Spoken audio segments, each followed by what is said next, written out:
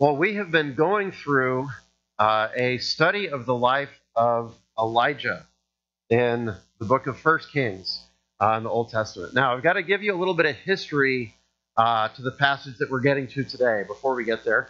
Um, but as I looked at and studied this passage, one of the things I was reminded of uh, several years ago, I was at a, a pastor's conference, and the pastor who was speaking, that was kind of our main speaker at the pastor's conference, had actually himself gone through uh, a terrible time of depression and discouragement.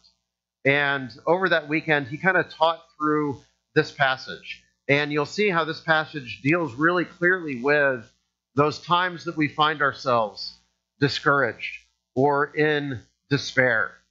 And as I've looked at and studied this passage, it's amazing how many times I came across other pastors who, in their notes on this passage, shared about their own times of discouragement and despair and how God really spoke to them through this.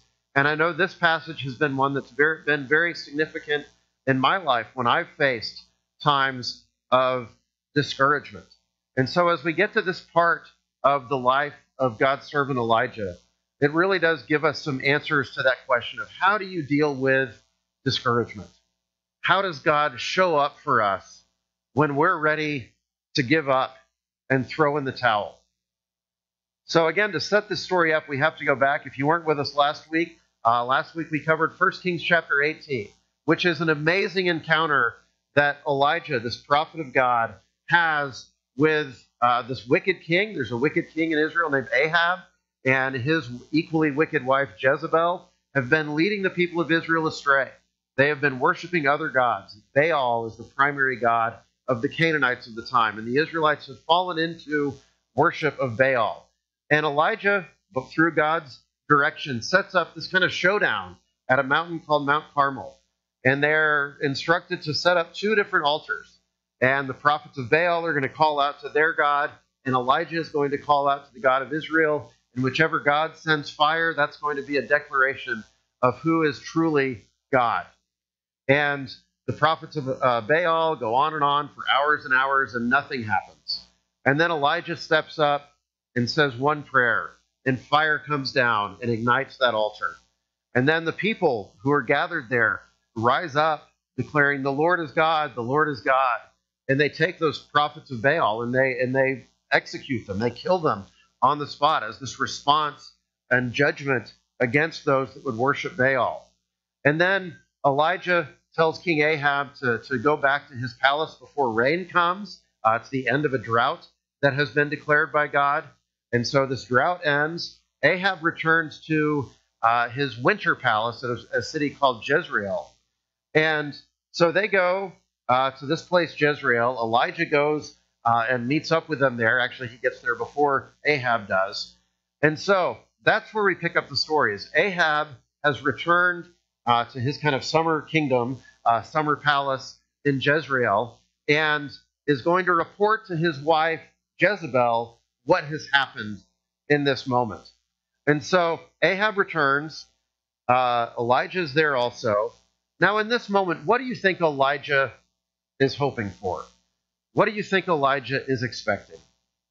He's hoping for revival to break out, for repentance to come from Jezebel and Ahab, or maybe for the people to kind of rise up and overthrow them and return the nation of Israel to the worship of Yahweh, to the worship of the God of Israel. Well, let's see what happens. 1 Kings chapter 19 is where we're going to pick things up. Uh, so 1 Kings 19, verse 1. Ahab, again, the wicked king, told Jezebel, his wicked queen, all that Elijah had done and how he had killed all the prophets with the sword. So Ahab gives a report about everything that has happened. He gives the whole story but the crowd, the altars, the fire, everything that happened. And with those prophets, of Baal being killed. And what is Jezebel's response? It says, Then Jezebel sent a messenger to Elijah, saying, So may the gods do to me, and more also, if I do not make your life as the life of one of them by this time tomorrow. So, what do we get from Jezebel? Repentance, change, regret. I'm wrong. Elijah, your God is God. No. she's angry, and she responds in defiance and with a death threat. Basically, she says, Elijah, you took out some of my prophets. I'm taking you out. If by this time tomorrow, may God, may the gods curse me. And what she says here, may the gods deal with me ever so severely. That is, that is actually a, a common kind of curse formula that you see in the Bible. Sometimes people use that uh, as a statement of God at times, but in this case, she's talking about her gods. And it's a declaration of her intent to kill Elijah within 24 hours. This is not the response Elijah was expecting or hoping for. There's no change from those in power. There's not a big national revival that comes about in this moment. And so, how does Elijah respond to this threat? Verses 3 and 4. Then he was afraid, and he arose and ran for his life, and came to Beersheba, which belongs to Judah, and left his servant there. But he himself went a day's journey into the wilderness, and came and sat down under a broom tree, and he asked that he might die, saying, It is enough.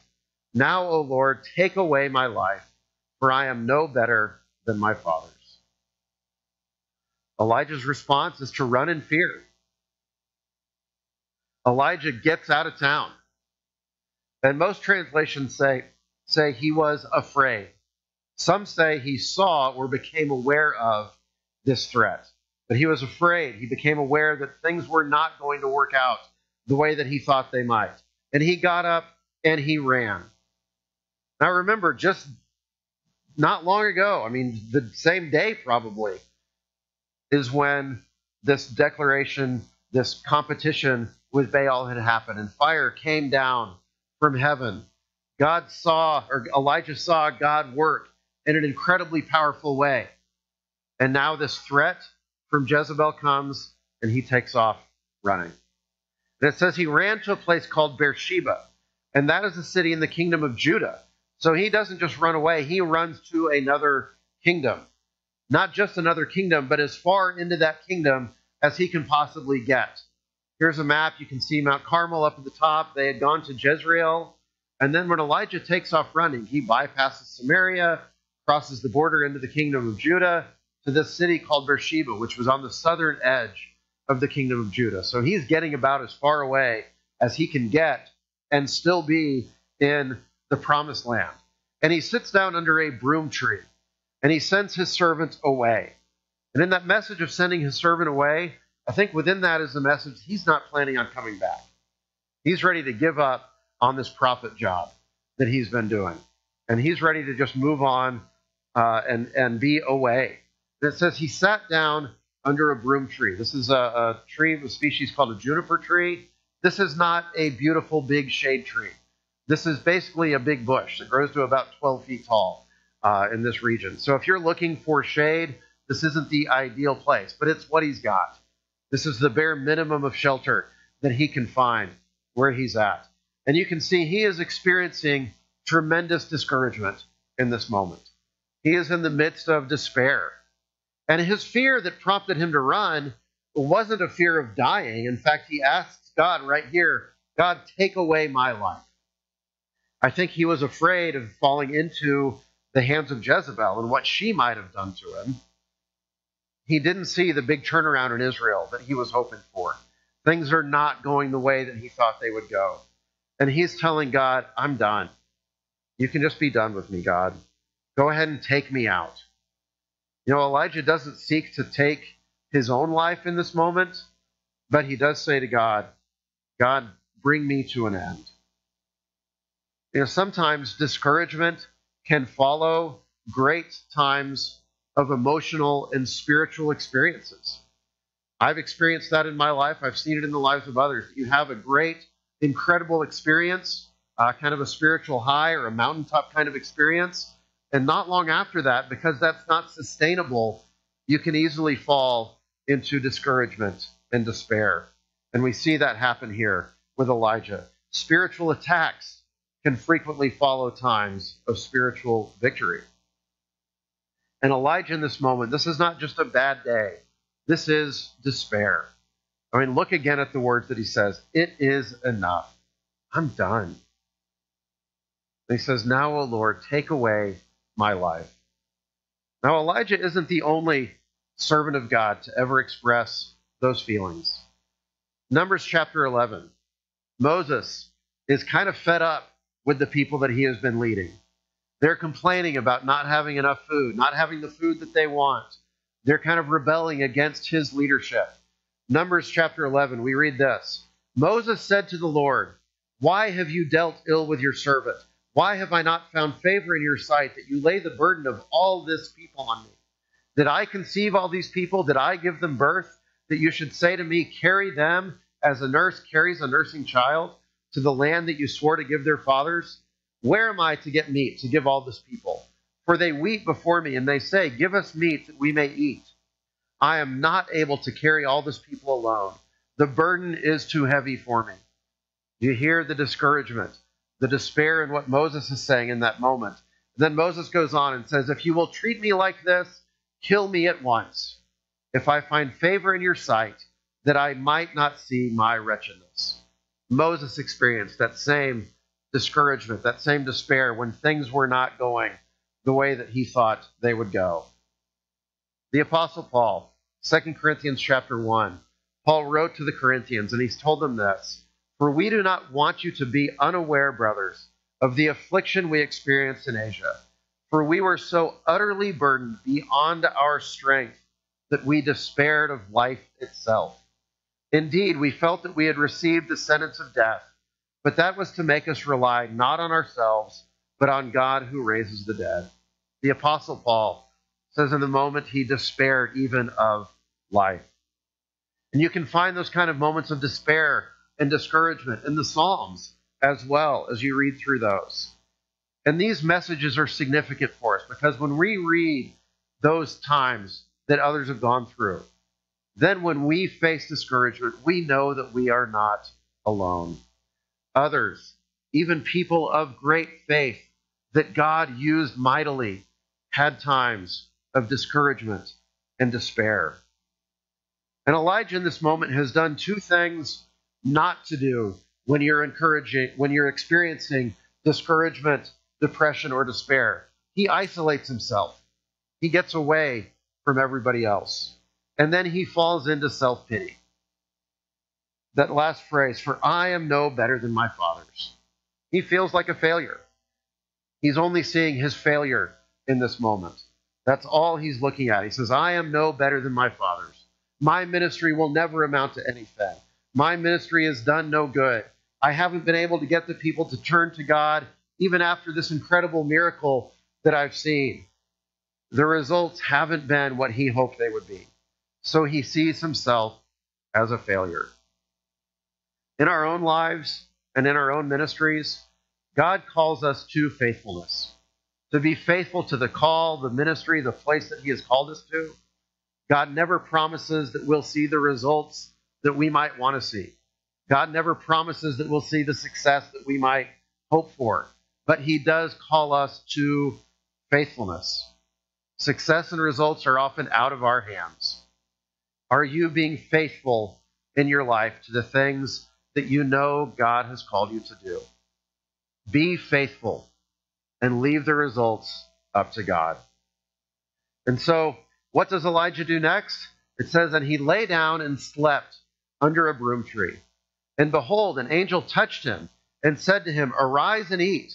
And he looked, and behold, there was at his head a cake baked on hot stones, and a jar of water. And he ate and drank and lay down again. And the angel of the Lord came again a second time and touched him and said, Arise and eat, for the journey is too great for you. So we see here a response from God.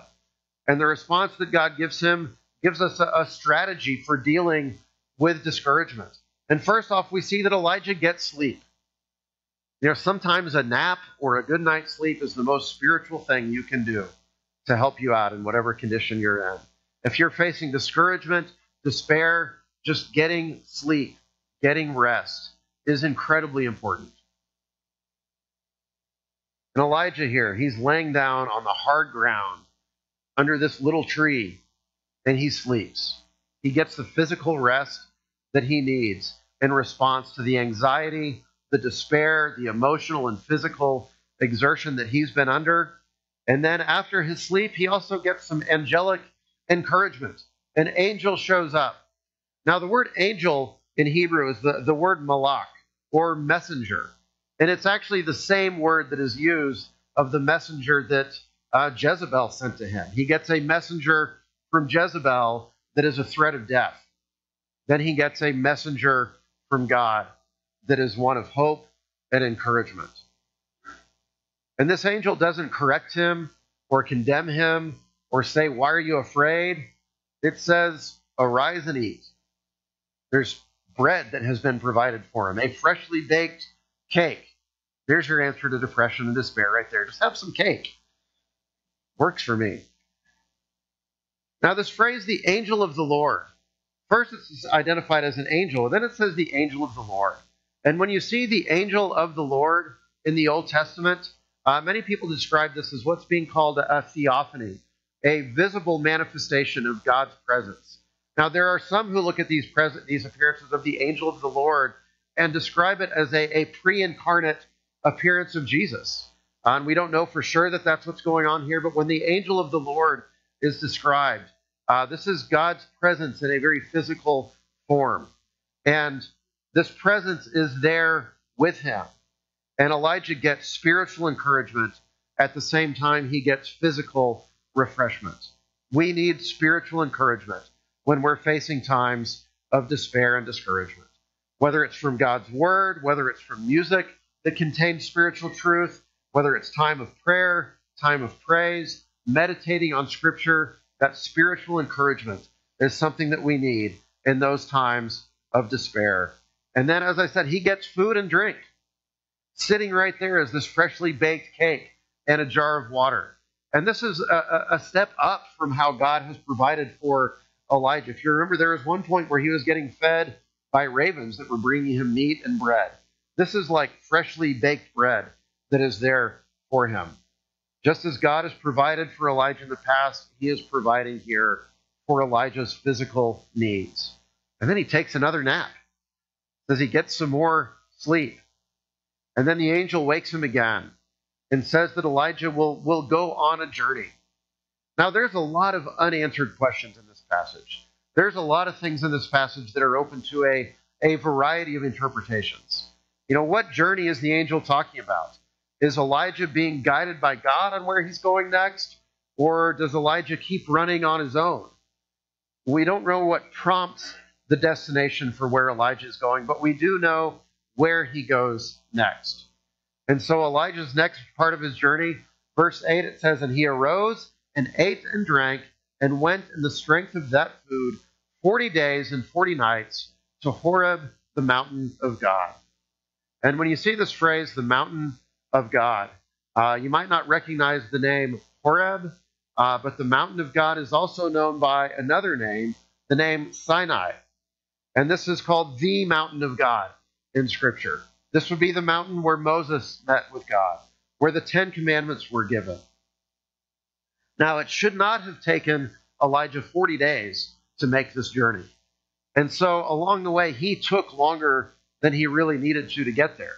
We don't know if he just made lengthy stops along the way or if he kind of wandered about in the land the same way the Israelites had done uh, before coming to the mountain. But he takes this journey south from Beersheba all the way across what's called the Sinai Peninsula uh, down to this area where Mount Horeb or Mount Sinai is. This is a desolate place. This is a dry, rugged, mountainous region. This would not have been the ideal place to go to get rest or refreshment, but that's where he goes. And it says, There he came to a cave and lodged in it. And behold, the word of the Lord came to him and said and he said to him, What are you doing here, Elijah? Now, why does God ask Elijah, What are you doing here? You know, when God asks a question, it's not because he needs information. It's because he's wanting us to think about whatever that question is. Is this a criticism of Elijah? Is God telling Elijah that he's not where he wants him to be? Uh, most likely, this is a challenge of introspection to challenge Elijah to, to examine his motives for where he's at right now and what he is doing. And then look at Elijah's response. he said, I have been very jealous for the Lord, the God of hosts, for the people of Israel have forsaken your covenant, thrown down your altars, and killed your prophets with the sword. And I, even I only am left, and they seek my life to take it away. Now, here's the way I really think Elijah said this I've been very jealous for the Lord, the God of hosts. The people of Israel have forsaken your covenant. They've thrown down your altars. They've killed your prophets. I, even I, am the only one left, and they seek my life to take it away. I think that's how Elijah is saying this. His complaint has some truth to it, but he's taking it all on himself. And there's kind of a hidden accusation that God hasn't done his part. Elijah's saying, I've done everything right. I'm the only one left. He isn't thinking rationally in this moment. He's forgetting about all the times that God has shown up for him and provided for him and led him and guided him. You know, in times of discouragement, we are tempted to only see the immediate circumstances. We forget about the past and ways God has provided for us. We don't see a future that's going to get any better. And Elijah feels alone because he had isolated himself. You know, even though he didn't have to be alone, he was alone. At times in our discouragement or despair, we can reinforce our own isolation and loneliness by not seeking out fellowship with others. Elijah has isolated himself in this moment. And then God, in his grace, is going to continue speaking to Elijah. And Elijah is going to hear from God a very specific message and very specific instructions for him. God said, Go out and stand on the mount before the Lord. And behold, the Lord passed by, and a great and strong wind tore the mountains and broke in pieces the rock before the Lord. But the Lord was not in the wind. And after the wind, an earthquake, but the Lord was not in the earthquake. And after the earthquake, a fire, but the Lord was not in the fire. And after the fire, the sound of a low whisper. And when Elijah heard it, he wrapped his face in his cloak and went out and stood at the entrance of the cave. And behold, there came a voice to him and said, What are you doing here, Elijah? So he's given this instruction to go out and stand on the mountain, to stand before the Lord. And God is going to pass by Elijah just as he did for Moses on this same mountain, very likely in the same spot as we read about in Exodus 33 and 34. But for Elijah, there is going to be a great wind, so strong a wind it's going to bring down parts of the mountain and break the rocks apart. And then there's going to be an earthquake that comes and shakes the mountain, and then a fire. But God is not going to speak to him through any of those things. Now, were those things there by God's sovereignty? Yes, absolutely. But God is not speaking a specific word through those things. Now, here's one thing that's interesting here. Each one of these things is a way that somewhere in Scripture God does reveal himself and God does speak to others. He had shown up in fire on Mount Carmel. God made his presence known through fire for the people of Israel when Moses met at the mountain of God with the people, there had been an earthquake.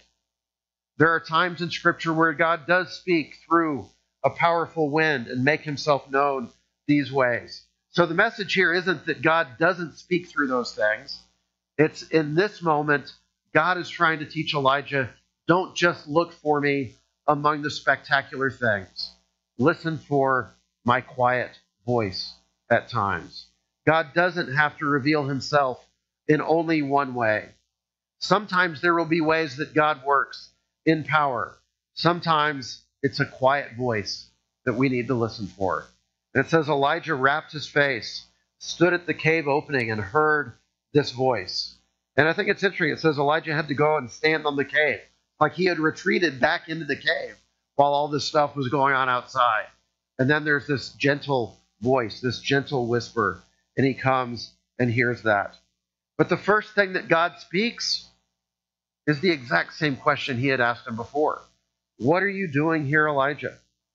Think about your purpose, your motivations. Where are you at? What are you doing here? Look at what Elijah said. I have been very jealous for the Lord, the God of hosts. For the people of Israel have forsaken your covenant, thrown down your altars, and killed your prophets with the sword. And I, even I only am left, and they seek my life to take it away. Elijah gives the exact same answer. Now, we don't know if anything has changed in his attitude, but he doesn't feel like his conditions have changed yet. He's still operating with a limited understanding and limited information. But God isn't finished speaking. God's going to give Elijah his next mission, saying, Elijah, I am not done with you. There's some other things that you need to go do. And the Lord said to him, Go, return on your way to the wilderness of Damascus. This would be 150 miles northeast of Jerusalem. So he's sending him back the way he came and then sending him farther on for something else to do. He says, And when you arrive, you shall anoint Hazael to be king over Syria. Now, Hazael wouldn't actually become king of Syria for a while. This is kind of like Samuel anointing David as king long before he actually became king. And Hazael, the king of Syria, this is a, a pagan king who would actually be used by God to bring further judgment on the people of Israel for their continued disobedience and idolatry. God goes on and says, And a Jehu, the son of Nimshi, you shall anoint to be king over Israel. Now, it would also be quite a while before Jehu would become king. And Jehu would be the one who would bring an end to the family line of Ahab. And then there's one more assignment. And Elisha, the son of Shaphat of Abel Meholah, you shall anoint to be prophet in your place. God is raising up another prophet, Elisha, who will join Elijah in service and who will eventually take Elijah's place. God goes on and gives more information. And the one who escapes from the sword of Hazael shall Jehu put to death. The one who escapes from the sword of Jehu shall Elisha put to death. But God is saying right here judgment is still coming on those who are wicked, on those who turn from God, on those who lead people astray. Now, there's a challenge within this that in Scripture we never see these exact things happen. Now, that doesn't mean they didn't happen. Just because something isn't recorded in Scripture doesn't mean it didn't happen. But we do see a future anointing of Hazael by Elisha and a future anointing of Jehu by another prophet. Now, maybe Elijah had gone and anointed them or declared that they would be king, and then these other prophets are sent to kind of reinforce and confirm what Elijah had revealed to him in this moment. Uh, but Elisha will become Elijah's kind of assistant for a while and mentor, and he will mentor Elisha until God moves him on. But then God also says, uh, Yet I will leave 7,000 in Israel, all the knees that have not bowed to Baal, and every mouth that has not kissed him. And this is a reminder that Elijah is not really alone. Elijah is not the only one left. He is not the last prophet that is serving God. There are 7,000 that God declares have not fallen into the worship of Baal. There are people who are still faithful. Even when you feel like you are in the minority, whether it's in a place of work, a school, within your family, some situation that you are in where you feel like you are alone, know that you can still find other believers that can encourage you. If you are in isolation, loneliness, despair, discouragement, find others to connect with. Stay in fellowship with other believers. That's why the scripture is very clear. Don't give up meeting together. Don't isolate yourself from other believers, especially when you're feeling discouraged. Unfortunately, I have seen many people drift away from the faith. And many times it begins with isolating themselves from other believers. when you find yourself in a place of discouragement, are you taking care of yourself physically? Are you getting rest, getting sleep, getting healthy food, getting some time away? Are you seeking spiritual encouragement, going to God in honest prayer, seeking truth from God's word for encouragement? Are you seeking out fellowship with other believers?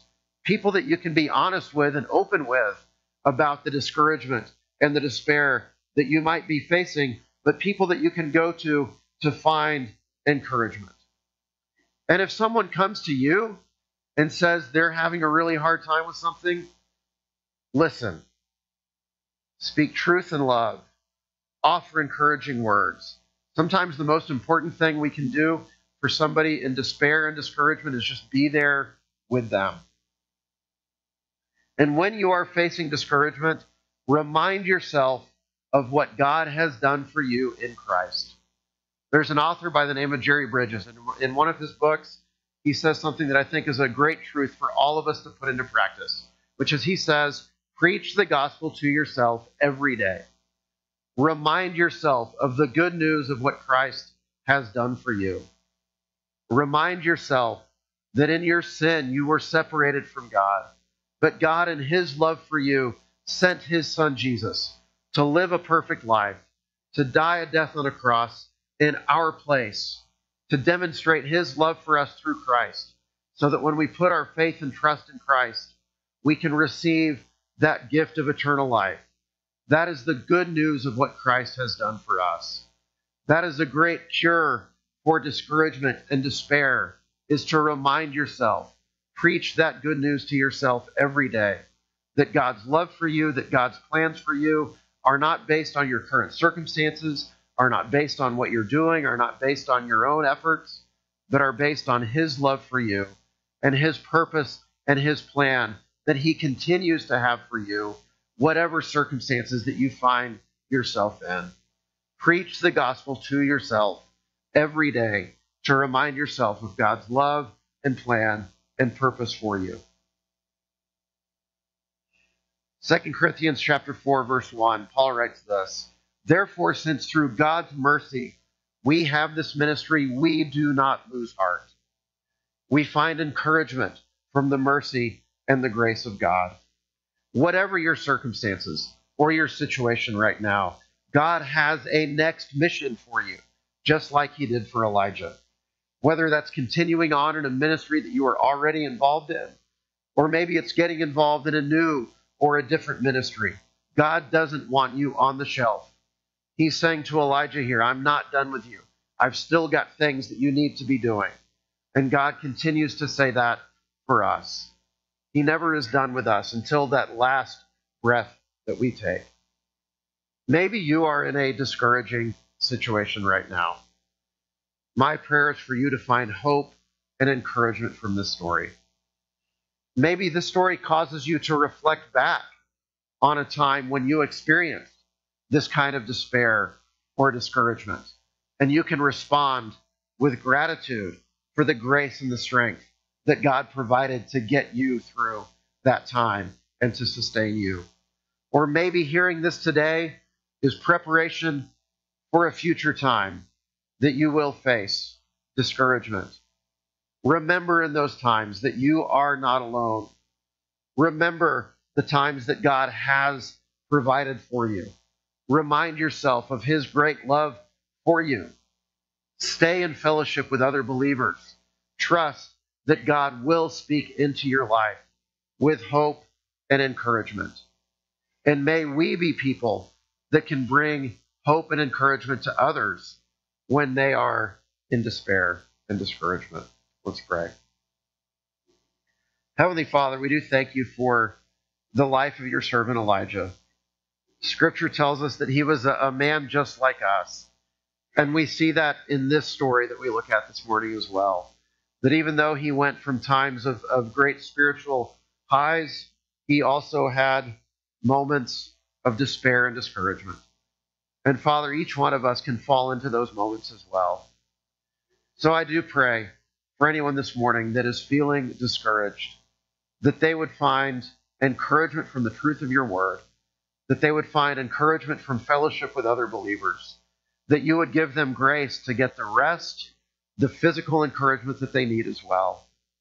And Father, we thank you for your great love for us, that even in our times of despair and discouragement, that you give us grace, that you remind us of your love and care for us, that you remind us of all that you have done for us in Christ. And so, Father, I pray as we leave this place today, that you would use us as your instruments to bring hope and encouragement to a world that is full of darkness and despair at times. That you would help us bring light and hope to those around us. That we would be reminded daily of your great love for us. We ask all of this in the name of Jesus. Amen. Now I'd ask that you stand uh, as I send us out with a benediction uh, from the book of Ephesians, chapter 3. May Christ dwell in your hearts through faith, that you, being rooted and grounded in love, may have strength to comprehend with all the saints what is the breadth and length and height and depth, to know the love of Christ that surpasses knowledge, that you may be filled with all the fullness of God.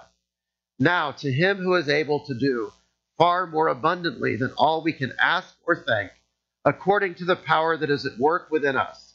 To him be glory in the church and in Christ Jesus throughout all generations, forever and ever.